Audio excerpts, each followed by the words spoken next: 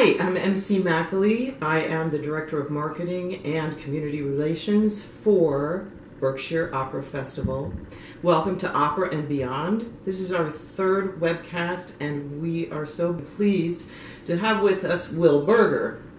Now, if you don't know who Will Berger is and you love opera, you haven't been paying attention because Will is on the forefront, uh, associated with the Metropolitan Opera as a producer, as an on air personality. Uh, he has uh, authored at least four titles and is just the dude you want to talk to when you want to talk opera. So, welcome, Will. Hi, thanks for having me. Yeah, do you want to tell us a little bit about all of this stuff that you do? I work at the Met full time and then some. Um, I am a writer for the media department and the press department, website, program, uh, radio, scripts, including some for myself, and I do on air commentary for the weeknight broadcasts.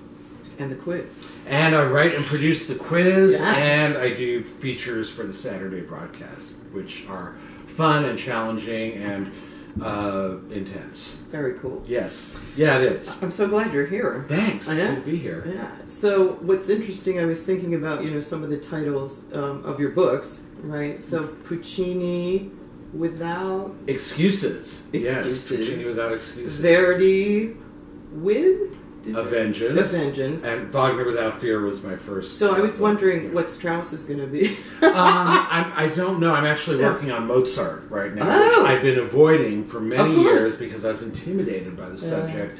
And uh, I, they got in touch with me and said, "Let's have a Mozart book." Well, um, it's an interesting lead-in to a, to a certain extent. Um, we're here today to talk about um, our main stage production for the summer, Ariadne auf Naxos. Yes, Um, we good choice. Thank you. Yeah, I think the boys did a, a nice job with that. Um, we've done two uh, webcasts so far. One was sort of a an overall uh, idea about what Berkshire Opera Festival is and the general scheme and plot of Ariadne and what we might be doing in this particular production.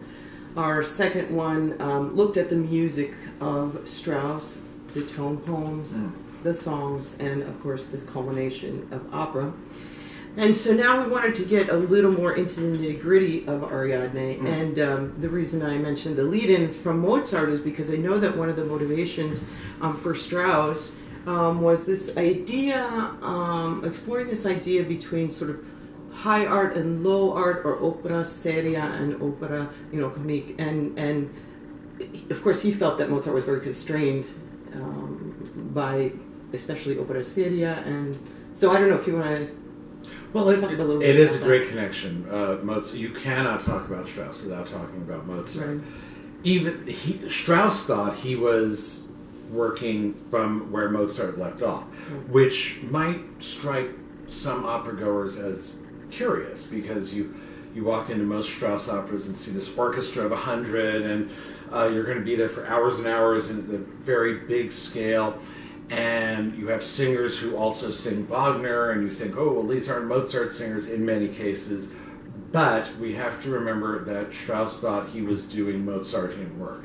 And that's most apparent in Ariadne. Not only with the smaller orchestra Right. and this chamber idea, but also with the themes and the whole notion of what what is theater, what is opera, what's music. Um, and it was both very modern and very classical what Strauss was doing in that wonderful way he had, almost uniquely, of being all things at the same time. Modern with a big capital M and classical with a big capital C, and foofy, you know, the, the whole sort of Viennese Baroqueness of Ariadne is really important, as it is in many of his works and yet is extremely 20th century at the same time. So all these things come together in Strauss in a, a wild way, in a not even syncretic, in a more in a completely holistic but Yeah. bizarre way. Yeah, yeah, yeah. Um, the guy was a fascinating person, and mostly fascinating because you'd think someone who'd write in that way would be this kind of erratic genius, and, you know, with a lot of the hair going this way and that way. And he was just the most sort of commonplace person to Right. meet by all accounts. Right. And he really cultivated that idea of no, I'm just a Average Joe." average Joe, and you know I like my beer and brats and this sort of thing.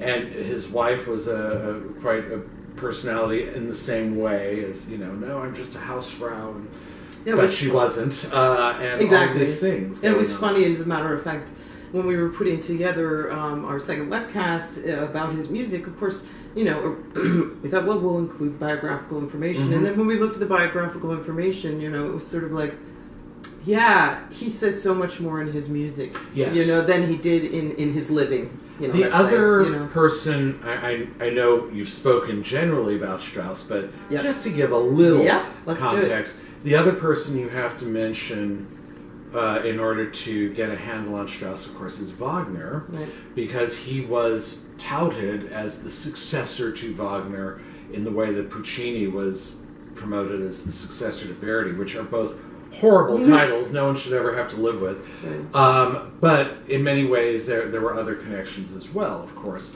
Strauss's father was a, a musician in the Munich Orchestra, worked with Wagner, didn't like him, um, but there was just this idea of Wagner hanging over his head. So you also have to think of that too. So we have nothing, as you mentioned, we have nothing to go by.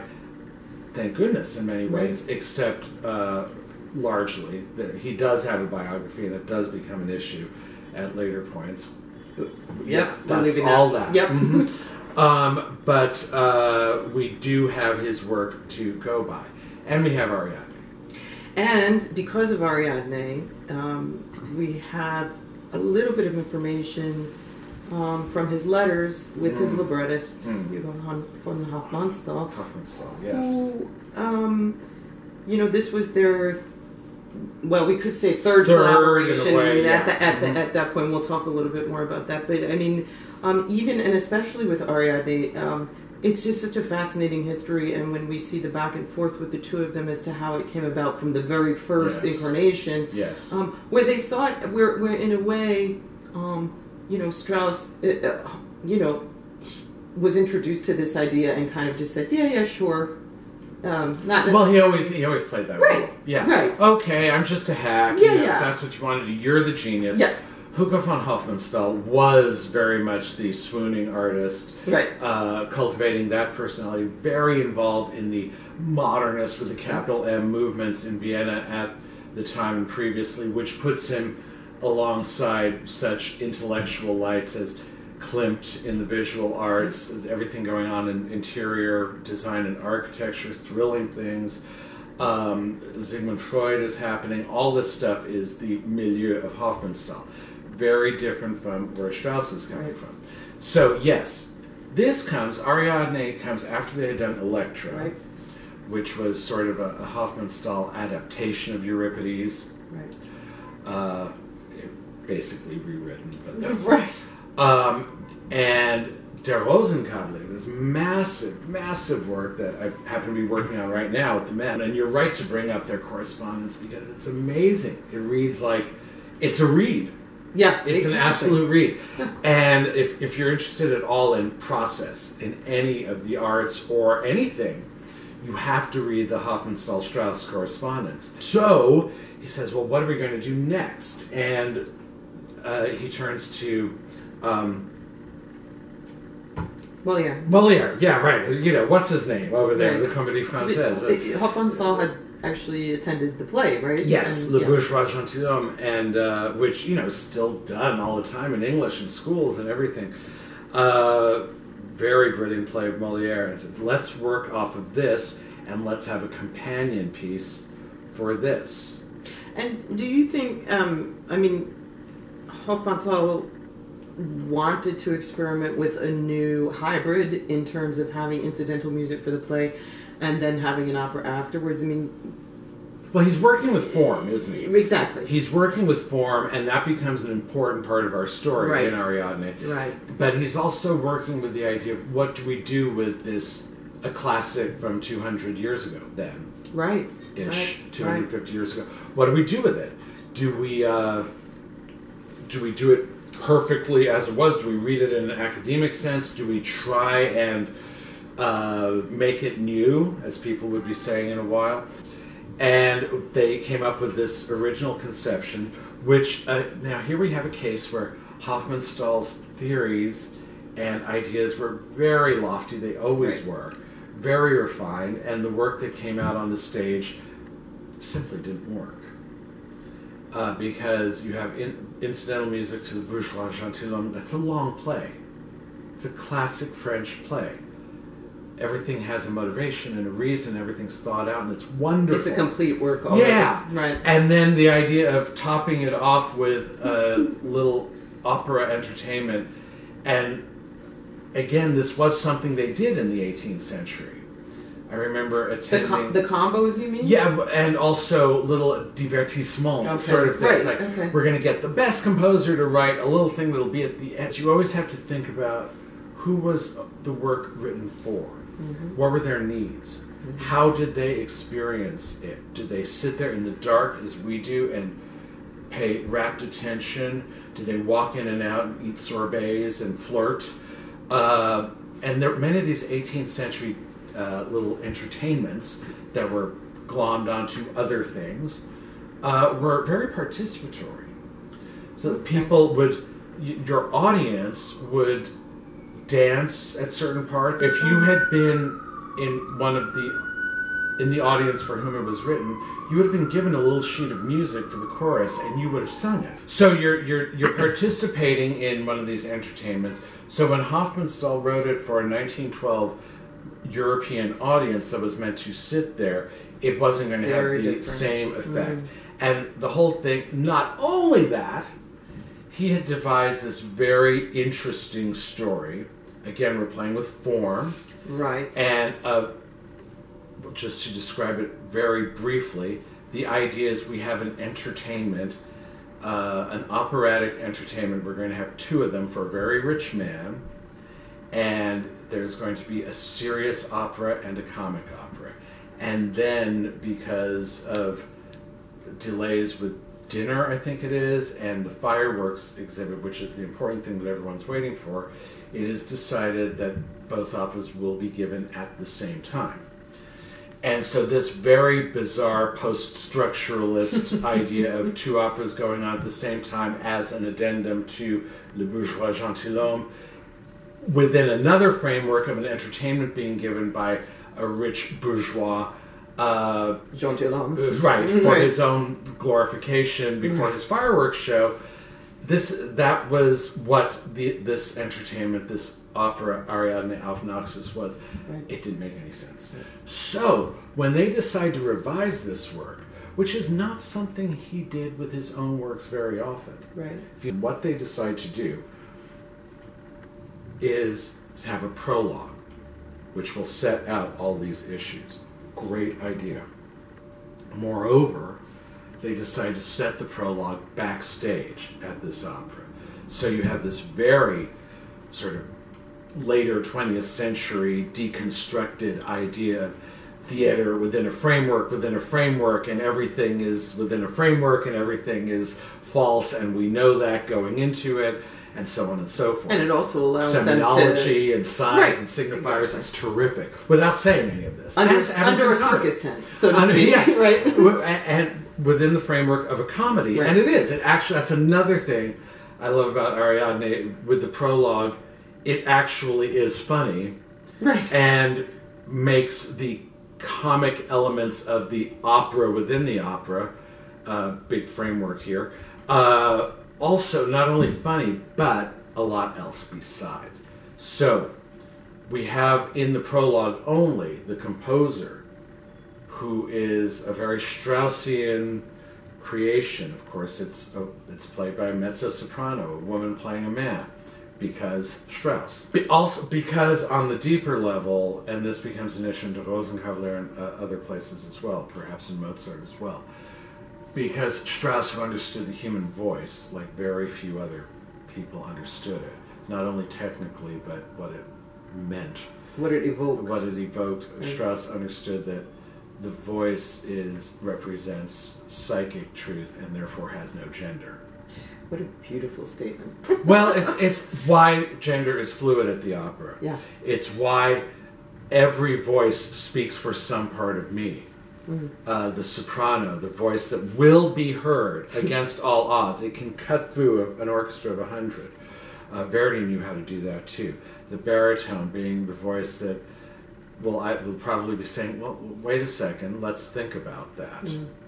Uh, or authority, or the father. One of the reasons I love to talk about Ariadne and get audiences engaged with it is because it's one of the very few operas that is frankly about opera.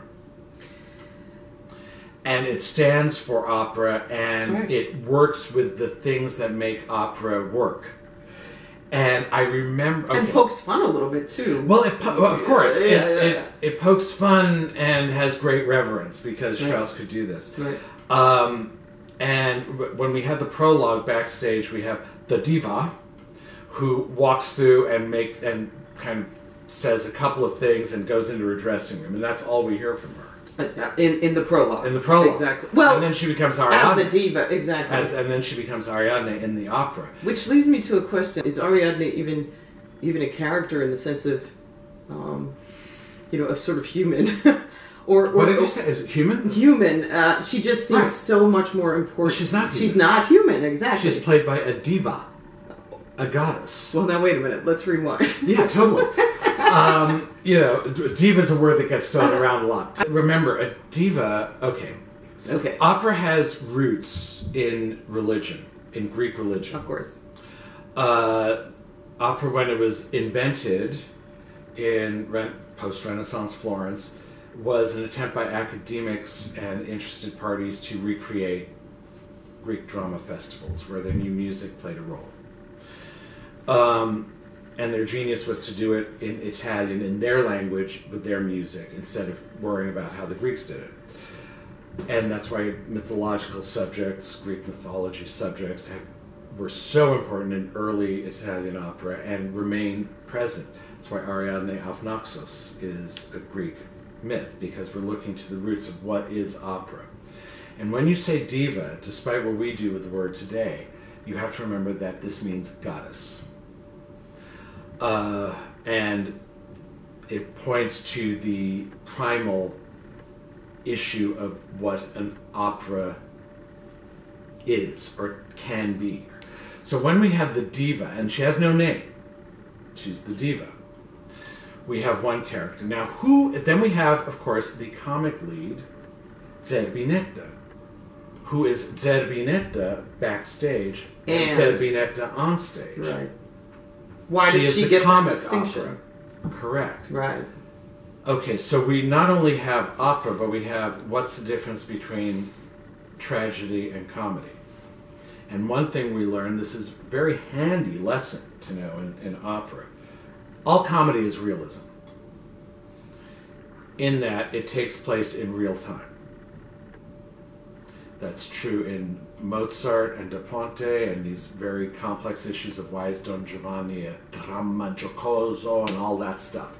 Opera is a manipulation of time. And the more high minded it is, the more you play with time. And you think in the Baroque operas of Handel, where time stands still. You just hang, you're not trying to get done. We're going to repeat it one more time. Right. So Zerbinetta is the same person she is off stage as on stage. Because she's and comic. the diva is not, yes Okay. This is profound. Mm-hmm. and it's it's i mean it's not profound to say. That's easy. It's profound to put into action and see how they work together. So when we have after the prologue where they explain that we're going to have to perform these two together and uh, someone who is not a high-minded artist is going to have to make it work which is that character um, the, the Strauss character, uh, who we don't see in the opera, interestingly. Um, all that is figured out in the prologue. And then we have an, another interesting part where the composer sings maybe the most famous part of the prologue. It's this sort of hymn to art. Music is a, is a sacred art, which Strauss thought of as a parody Right. He Uh, he almost and yet people take very seriously, and it's very interesting. It's it's you never know what you're supposed to be thinking, right, right. but it's also another reason why it's a mezzo soprano. Not to make fun of it, but because it's otherworldly Right. if you do it this way, and therefore it's the it's the parody is at the whole unearthly part of the artist who's Mm. above earthly considerations. Well, somebody's got to pay for this. I'm here to tell you, this has not changed. So somebody's got to pay for this, and the artist has to figure that out. And don't you love this touch where there becomes a flirtation? Right. Very innocent and yet distinct flirtation between not the diva, but Zerbinetta, Right. the real woman, Right. who is not above being generous with her charms uh, with men, and apparently not only with men.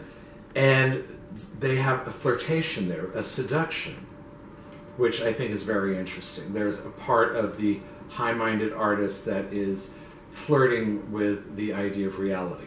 It also it It's gets char- the job It's done. charming, exactly. It gets and the it's job charming done. at the same time. So here we It go with finds a methodology Yeah. to get the sublime Yeah.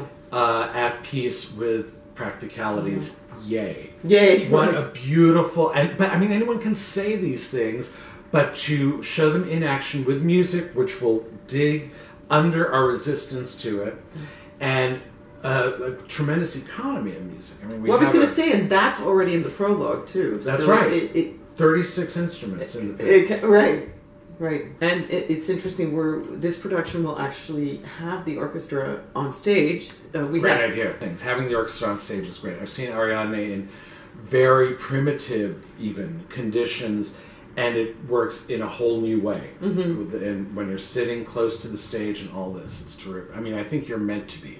yeah, I'm pretty sure of that. And our and, our, and again, if you don't mind me speaking about our particular um, um, situation, the Colonial Theater in in, in, in Pittsfield is uh, there's something about it that creates an intimacy, Mm. a, a very special intimacy. It's not tiny, it's not huge, it's just right. And I think for Ariadne, we're going to find uh, sort of again that special magic that we found with Butterfly last season. Mhm. So. Yeah, we're really looking forward to it. So let's uh, let's continue our discussion. Let's get in there. Um, well, so they decide to make it work, and the condu- the composer decides he's going to make it work. sort of under Zerbinetta's, Spell. would we say guidance? Spell. Spell, Spell, is way better. Yeah, Um, and then, are you taking a break then? we are. Yeah, we're gonna we're gonna have an Okay, at that point. that that works. Yep. And then when you come back, you're in in the world of the two operas that are going to happen at the same time. So you're no longer backstage. What's happening? Well, real really quickly, you have the myth of Ariadne, daughter of Minos of Crete, abandoned on Naxos by Theseus, the greatest hero, who she rescued from the labyrinth and the Minotaur at great sacrifice to herself and was taken away, and he dumped her. dumped her on this rock, on an abandoned rock. One of the earliest things we have in opera is a, a solo of Ariadne's lamentation. How could he have left me? Very, very universal. and this um, whole idea yeah. of of of her representing lament, Yes, lament, loss, abandonment, right? abandonment. uh, everything that's ever happened wrong to women. yeah, yeah. since before history. And she then expresses these things in a way appropriate to the lofty eternal themes set out in Greek mythology uh, with solos and this sort of thing. Uh, you need a great operatic voice Right. Uh, and very self-conscious, not moving a whole lot. There's not a lot of movement for Ariadne to do. It's more of Right. a of a sort of Plant poised thing in a very Grecian sense. During this, and this is what must have struck the original version audiences, is what's going on here Mhm. that the prologue helped explain. Zerbinetta wanders across. wa- In many productions, she's able to walk across water that Ariadne is not because it's theater water. And Zerbinetta's our Zerbinetta, real time, real person. she- hey, this is a stage here on Sound Water, uh, with her troupe of Commedia dell'arte performers, uh, traditional Italian kind of uh, stock character clowns, Punch and Judy sort of thing. So she and her friends walk across, and instantly you'll notice a change in music representing them, and things like a piano showing up. right. Um, and then there is interaction, and there is very interesting interaction between, well, mostly between Ariadne and Zerbinetta. Ariadne, she doesn't really want to talk to Zerbinetta No. because she's the Princess Ariadne, a half goddess, a diva, and Zerbinetta is this cheap, you know, dancing for the people, floozy. Uh, for coins, and um, but she does interact a little more than she wants to, and she says, "You can't understand. He was a god, Theseus, meaning the man who dumped me." When Zerbinetta is saying, "Oh, you got dumped yet? Terrible when that happens. So we'll find you another, uh, because that's how it works." And you know, it's, And that's the whole premise of, of, of Zerbinetta's monologue. Zerbinetta's monologue, which is remarkable, It uh, one of the most extraordinary pieces of music ever written, where she's trying to sound light and fluffy, and she should. If she does it right, you're not going to know that this is one of the most extraordinary pieces of music ever written. That's what we're going for. Again, this idea of like, no, I mean light and fluffy. Oh my God, how am I going to hit these notes? with, complete with high Fs, like Mozart in the magic flute. Uh, but she's she's basically saying to Ariadne, uh, "Men, yeah, well, it would be nice if if you could keep them, but you can't. So find another." And then Ariadne tells her, "You do not understand. He was a god." And Zerbinetta has the priceless line where she says, "Well, they're all gods when we meet them." Uh, that's a, a loose translation, but one I'll stand by. And so the struggle between these two ways of looking at things there it's cultural it's sexual it's it's artistic it's philosophical it's musical because you have Zerbinetta's monologue which is what 12 14 minutes Uh, It's about 16. 16. 16, yeah. model okay better her than me but then you also Yeah. have Ariadne's Sol es ein Reich which is I don't know how long it lasts which in itself tells us something exactly. because time works differently in serious operas. So when she's singing about Es ein Reich, there's a realm, death. What is death but the place where time is works differently? And so you get suspended in time. So you also have different measures of time going on at the same time. Again, you think this was written originally in 1912 in a milieu that would have included Albert Einstein Right. We were who starting taught to us that, that actually there are variations in time. Mm. Scientifically, this is an artistic way of looking at the same thing. And what happens when you have two views of time at the same time? Well, you have a, an infinite view. All right. And that's among the implications of what you have in this charming little divertissement Right. that is known as the opera in, uh, note, note the affected accent, in Ariadne auf Naxos. Then, what should come along but a tenor? Well, so what's going to happen to poor Ariadne? And notice that we also have um, kind of sp- nature spirits who sing to her Naiad, Dryad, and Echo, uh, who sing to her and console her. They don't sing to Zerbinetta. We're never really sure if Zerbinetta hears them. Who then say, Hey, there's a ship coming.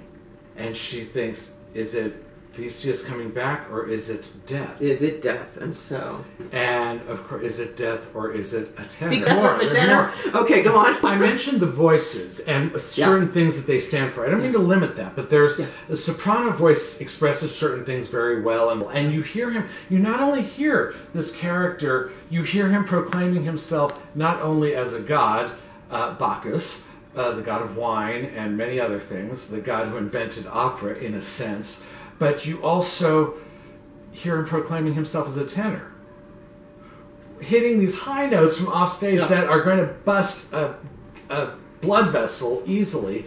And so we're saying, okay, here comes a tenor. What is a tenor? The tenor voice represents action, not the vo- not the part of you that's going to say, "Wait, let's think about this." It's the mm. part that's going to act. And you do that, you that part of you is the part that makes love because most of the time if you think about it there are more reasons not to mm. and goes to war. Mm. Leads a charge. So you always if you're going to lead a charge in opera or you're going to say, "No, let's make love here right here right now no matter what the consequences So- so- are." The yeah. tenor voice represents that really well. So uh, so he's coming in, he's going to change things. He, because Ariadne is stuck and Zerbinetta mm. is doing her thing. So we hear this god coming, and he has just escaped from the enchantress Circe and finds Ariadne, who's this beautiful princess. She thinks he's dead. Because that's what she was asking for. She's never It's the only option. completely clear that he isn't dead.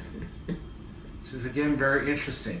So he comes and he does what tenors do. One of the two things the tenor voice does best in the opera. He makes love to her. He sings in a loving way, in a very passionate, erotically charged way. Um, and of course, there's a wonderful moment. It's one of these just rather subtle Hofmannsthal-esque moments where something wonderful happens in the orchestra and she says, was that it? Was that the crossing over point? And she doesn't know if she's died or if she has had some sort of erotic fulfillment because they are the same on a psychic level. In one way or another, she is transformed, or she does realize that she's transformed, and she is surprised at how easy it was and how pleasant. And she sails off literally into the sunset with him. Well, Zerbinetta, of course, has the last word to the audience. To the audience, because who's the audience and who's on stage at this point? Where she says, You see, they're all gods when they come to us. They're all, when we meet them, they're all gods. Which is she suggesting that when they have to pay bills, they're going to have a different relationship? Or is she saying the cycle goes on and you fall in love and maybe you'll fall out, but you can still savor this moment. And it's it's a message of hope. The the continuation of life and love uh, against all odds, brought home to us by the comic, realistic woman, real woman of the, real earth, Right. Is a beautiful, beautiful message. I think. I agree. Um, and it's a wise one. It's not a. It's not a bromide. It's not like "Eh, life is good. You should be happy. No, No, no. not It- at this all. It's acknowledges that thing. Yes, that things are complicated, and you know life gets to you, and there is a longing toward death uh, that is part of all this. But it's still um, th- th- things are born again constantly, and that's a beautiful thing. And doesn't I that love that. and doesn't that address even still again the the lower hierarchy? Absolutely. Uh, you know, and they both keep renewing themselves Exactly. over and over. you just keep working with this art form, and it will always be new. yes, And al- and we found that to be true. I mean, as you were saying earlier, you know, in in that time and space, in those particular sets of circumstances, what they were exploring, we're we're still exploring. Yes. Oh, and we will be forever. I thank you just from the bottom of my heart for, for talking with me today and, and sharing your not not just your great knowledge but your great passion um, with us Thanks for letting me. and, and bringing that beautiful you know bringing it home with that beautiful message. I can't imagine um, a better way to to to um, invite our audiences to be a part of it. well, I appreciate the opportunity to be a part of it. Thank you.